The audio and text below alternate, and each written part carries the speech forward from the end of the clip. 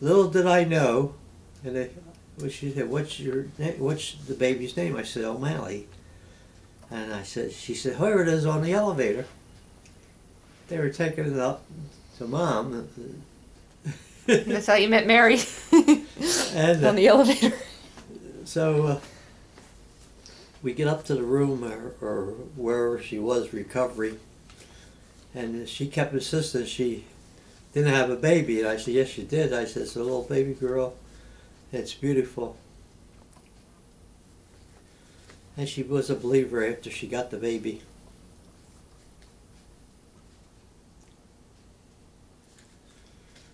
Well, describe the day that Fred was born. Mel, I guess I were that you were mom and uh, Nancy were playing cards downstairs, and I was upstairs. Did I put on my pajamas that day? Was was was uh, no? It was nine o'clock, wasn't it? In the evening. No, I was. We were. I must have been down with you. So anyhow, uh, about that evening, we, were, we got uh, mom and Nancy and had them up. They were going to stay overnight because it was Fred was about ready.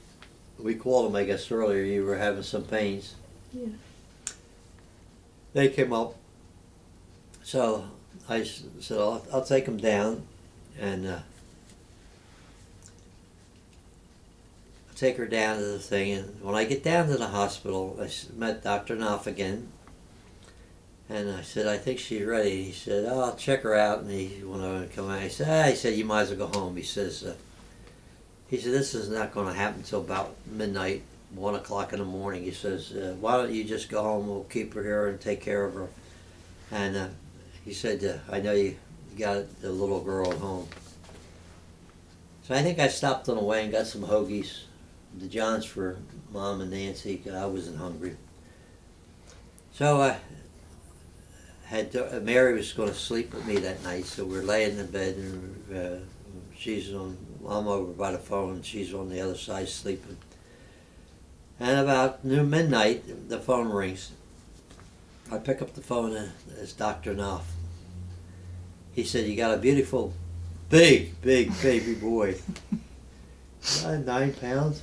Nine pound four ounces. Yeah, nine over nine pounds. He said the fingers and toes and everything's in place. Everything looks good. She's doing well. He's doing well. He said, "You go back to sleep." He said, "Come in tomorrow morning about eight o'clock, nine o'clock, and we'll let you see him." So I did. I went to sleep. Got up the next morning and went down to the hospital. And that's kind of kind of Fred's thing, you know. How did we find out you're pregnant with you? Well, Hold on, hold on. huh? Hold on.